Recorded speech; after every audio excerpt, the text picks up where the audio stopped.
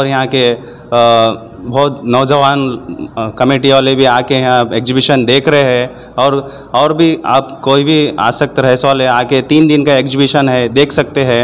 आज कल परसों तीन दिन का एग्जीबिशन है thirty ninety twenty nine thirty thirty first तीन दिन का एग्जीबिशन रहता है। आप सबको आके देख सकते हैं वेलकम मैं एक तकरीबन दस साल से ये पेंटिंग आर्टिस्ट फ़ील्ड में हूँ। अभी मैं M F A B F A और बैचलर ऑफ़ विजुअल आर्ट में कंप्लीट डिग्री कंप्लीट किया so master of fine art में। अभी मैं फ़िलहाल यादगिरी डिस्ट्रिक्ट में फ्रीलांस आर्टिस्ट के हिसाब से काम कर रहा हूँ मैं पेंटिंग एग्जीबिशन मेरा मुंबई, हैदराबाद, बॉम्बे, गोवा, दिल्ली, ये सारे तरफ़ से मेरा एग्जीबिशन हुआ है। एक मेरा ख्वाहिश था कि रायचूर में भी करना है तो मैं रायचूर में का भी वो ख्वाहिश पूरा कर रहा हूँ। थैंक यू ये रहे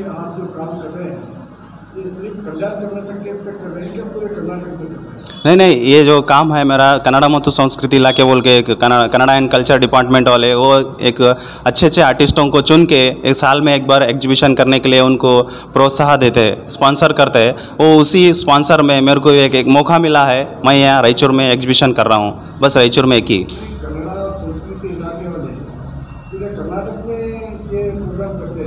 हाँ, हाँ नहीं नहीं पूरे नहीं नहीं नहीं नहीं ये क- कन्नड़ा एंड कल्चर डिपार्टमेंट वाले पूरा कर्नाटक में कर्नाटक आर्टिस्ट को देते मैं यादगिरी डिस्ट्रिक्ट से मेरे को दिए है मैं रायचूर में कर रहा हूँ दूसरे दूसरे आर्टिस्ट कर्नाटक में दिए तो वो उन उनके हिसाब से करते मेरा भी लास्ट टाइम दिए थे कि मैं हैदराबाद में करूँ तो हैदराबाद में करा था आउट ऑफ स्टेट में करा था एग्जीबिशन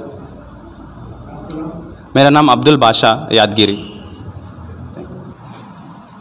ಆ, ಯಾದಗಿರಿ ಜಿಲ್ಲೆಯ ಯುವ ಕಲಾವಿದರಾದಂತಹ ಅಬ್ದುಲ್ ಬಾಷಾ ಅವರು ನಮ್ಮ ಶ್ರೀ ಗುರುಕಲಾ ಮಂದಿರ ಚಿತ್ರಕಲಾ ಮಹಾವಿದ್ಯಾಲಯದಲ್ಲಿ ಕರ್ನಾಟಕ ಸರ್ಕಾರ, ಕನ್ನಡ ಮತ್ತು ಸಂಸ್ಕೃತಿ ಇಲಾಖೆ ಬೆಂಗಳೂರು ಇವರ ಸಹಯೋಗದಲ್ಲಿ, ಇವರ ಧನ ಸಹಾಯದಿಂದ ಇಲ್ಲಿ ನಮ್ಮ ವಿದ್ಯಾಲಯದಲ್ಲಿ, ಅಂದರೆ ಶ್ರೀ ಗುರುಕಲಾ ಮಂದಿರ ಚಿತ್ರಕಲಾ ಮಹಾವಿದ್ಯಾಲಯದಲ್ಲಿ ಏಕವ್ಯಕ್ತಿ ಚಿತ್ರಕಲಾ ಪ್ರದರ್ಶನವನ್ನು ಏರ್ಪಾಟ್ ಮಾಡಿದರು. ಅತ್ಯಂತ ಯಶಸ್ವಿಯಾಗಿ ಆಗಿದ್ದಾರೆ.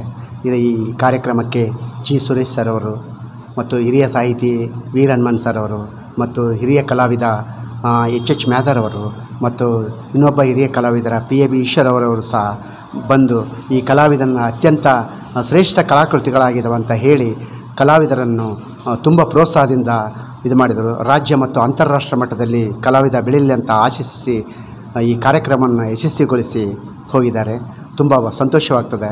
ಈ ನಮ್ಮ ಕಲ್ಯಾಣ ಕರ್ನಾಟಕ ನಾಡಿನಲ್ಲಿ ಇಂಥ ಯುವ ಕಲಾವಿದರು ಉನ್ನತ ಮಟ್ಟಕ್ಕೆ ಬೆಳಿಬೇಕಂತ ನಾನು ಸಹ ಆಸೆ ಪಡ್ತೇನೆ.